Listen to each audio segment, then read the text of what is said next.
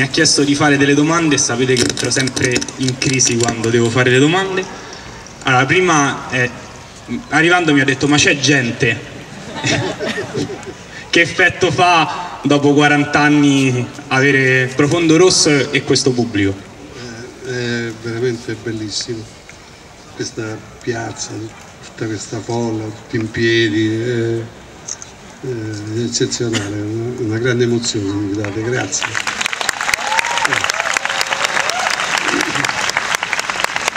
Cos'è cambiato all'interno dell'horror e del thriller a distanza di 40 anni e che cosa, che cosa magari oggi, eh, se avesse in qualche modo dovuto eh, fare oggi quel film, avrebbe fatto diversamente e se l'avrebbe fatto uguale? Ma eh, il film, eh, tra l'altro, dovrebbero rifarlo in America, quindi già stanno provando, stanno cercando di rifare la sceneggiatura, ma è un po' difficile rifarla perché penso che il film è riuscito abbastanza bene, quindi, quindi è difficile. Però eh, penso che il cinema è cambiato, è cambiato, sono cambiate le tecniche, cambiato, sono cambiate tante cose del cinema, quindi allora il cinema si faceva più distinto, c'era più amore per fare il cinema, oggi è più una cosa commerciale, c'è tutta questa eh, effetti speciali che, che, che, hanno reso poi il cinema un po' più commerciale, più, più, specialmente questi film americani, blockbuster, che sono tutti botti, esplosioni, fiammate. Eh, quindi il cinema thriller e horror è molto differente da un tempo, un tempo c'era più psicologia, c'era più, eh, si faceva più, con più affetto, però eh, io mi sono adattato anche ai tempi che, che passano, ho fatto anche i film eh, abbastanza recentemente, adesso ne devo fare uno in America, insomma mi sono adattato, anche se non, io però mantengo la mia personalità e quindi faccio questi film, però senza, senza lasciarmi andare a, a, a, queste nuove mode, eh, li faccio con, con, sempre di nuovo con, con amore, con, usando la macchina da presa, perché recentemente poi la macchina da presa se la sono dimenticata e quindi fanno film che sono mm, abbastanza sempliciotti. Invece il cinema, come mi ha insegnato il grande Sergio Leone con cui ho lavorato, è principalmente macchina da presa, quindi Grazie siete. Ho letto un'intervista in cui diceva che rispetto all'Italia in America si aveva la libertà sia di espressione ma anche il rispetto del, del proprio stile e delle proprie modalità di lavoro. C'è ancora questa enorme disparità tra l'America e l'Italia? No, c'è una grande disparità. In America c'è, il cinema praticamente oggi vive in America, in Italia si fanno dei film più piccoli, più semplici, più... invece in America c'è ad esempio ci sono delle, delle, mh, mm, dei tecnici che sono eccezionali, de, uh, sulla parte tecnica sono veramente fantastici negli Stati Uniti, si fa un cinema, dicevo prima, molto spettacolare, però anche film invece belli, impegnati, fatti bene. Eh, recentemente ho incontrato il regista Refne, che è un mio grande stimatore, che, che, che quello che ha fatto Drive, che è bellissimo. E lui mi ha spiegato che appunto anche a lui gli piace il cinema americano, lui è danese, il cinema americano perché c'è, un, una tensione, una voglia di fare.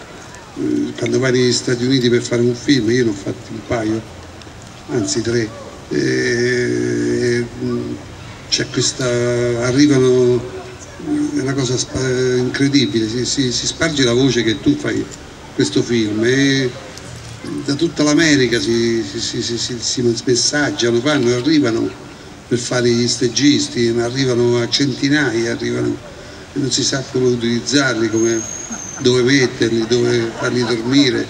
E, e, lavorano con, una, con un amore per il cinema veramente che in Italia non c'è ancora, c'è un certo amore per il cinema, però per un certo cinema che è un cinema appunto italiano, un po' più, più sempliciotto, lì invece c'è una furia che li prevale proprio che vogliono fare il cinema, quando tu fai un'inquadratura bella, in Italia non, non è mai successo questo, invece lì fai un'inquadratura bella e vedi tutti dietro dicono, dicono bravo, bello, bello, mi è piaciuta, va bene, vai, go, go. E dico, mazza, proprio entusiasmate, sì. Insomma, ho fatto, insomma, ho fatto il cinema che ho fatto in, negli Stati Uniti è stato molto, molto bello, molto, mi ha dato molte soddisfazioni. Consiglierebbe a qualcuno, a un regista giovane, esordiente, eh, che volesse eh, in qualche modo intraprendere la, stadia, la strada dell'horror e del thriller? Qual è il consiglio che, che lei dà? Ma prima cosa studiarsi i classici del cinema di questo genere, quella lì è la cosa principale, studiarli e vedere come sono stati fatti, come, da dove vengono, come, come il regista li ha realizzati, quella è la, la cosa principale, non bisogna arrivare al cinema a fare il cinema con una certa ignoranza del, del mezzo, no, bisogna essere molto preparati. E, e, poi appunto dopo aver studiato tanto i film, avere qualcosa che ti spinge. A me, io fin da bambino avevo una, una predilezione per questo genere di film, l'ho sempre avuta fin proprio da ragazzo, da, eh, quindi quando poi ho cominciato a farli eh, mi sentivo a mio agio perché li conoscevo, sapevo tutto di questi film. Eh, quindi vi invito a studiare molto, molto il, il, genere, i film, i film vecchi, i film antichi, i film, addirittura del muto. Eh, io da quelli che ho cominciato a trarre ispirazione per fare i miei film. È vero? Che li sogni? Sì, li, li, li, cioè non è che li sogno esattamente che li sogno, è una questione un po' freudiana, cioè i sogni eh, mi aiutano a, a, creare le immagini per i film, eh, faccio dei sogni a volte belli, a volte un po' meno belli e, e ne traggo ispirazione per, per fare delle scene, per fare un, per, eh, per arrivare nella profondità, perché il sogno, come diceva Freud, appunto è, è la, spiega le nostre profondità. E quindi io me lo, li, i miei sogni diventano una base sulla quale poi man mano costruisco il film. Volevo chiederle che cos'è per lei la musica nei suoi film? Beh, la musica non è solo accompagnamento, cioè, deve avere una sua personalità, quindi deve, deve, deve accompagnare il film ma raccontando anche qualche cosa. Quindi io quando lavoro con i miei musicisti gli, do degli input importanti su quello che voglio raccontare eh, sulle atmosfere che vorrei che fossero del film. Io so, amo molto la musica, adoro la musica, musica eh, moderna, musica antica, musica contemporanea, melodramma, tutto, tutto, mi, mi, mi entusiasma la musica, l'ho sempre amata fin da bambino e quindi lavoro molto con la musica e col musicista, faccio un lavoro molto importante che comincia prima del film, prima di iniziare il film, si comincia a lavorare già da prima, si comincia a capire che tipo di atmosfere vuoi, vuoi catturare. Io quando ho lavorato con Sergio Leone, lui eh, quando c'era qualcuno che faceva interviste diceva io sono un allievo di Sergio Leone, sono un suo, un suo praticamente mi ispiro ai suoi film, lui si arrabbiava tantissimo, diceva ma che scuole da lui, che c'entra, che non è un mio allievo, non c'entra niente, io faccio i film particolari che, che faccio solo io. E io non vorrei dire la stessa cosa, però insomma simile però. cioè non, non vedo tanti che seguono il mio stile, che è uno stile molto particolare, che nasce dalla mia personalità, nasce da, da tante cose culturali che, che, ho, che ho appreso, da tanti viaggi, da tante persone che ho incontrato, tanti film che ho visto. Quindi è difficile dire che ci sia un mio, una specie di un mio allievo, qualcuno che possa continuare. Fine dell'anno, l'anno prossimo, dovrei fare una, una, una serie che, mm, negli Stati Uniti, una serie tv eh, che ho visto il palloncino, bello, bello.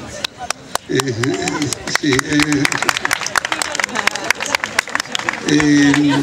dovrei fare questa serie che è ispirata al libro da cui ho tratto il, il mito delle tre madri, cioè Sospira dei Profundis.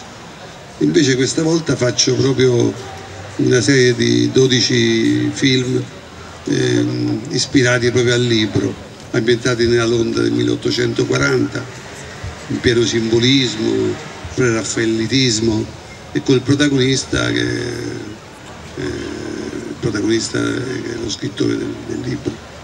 Insomma faccio questa, questa, questa serie, Thomas De Quincy.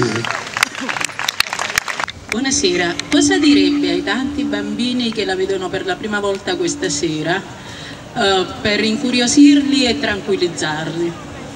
Per incuriosirli che il film è un film che non hanno mai visto, quindi c'è curiosità penso per tranquillizzarli non è il mio compito quello di tranquillizzarli.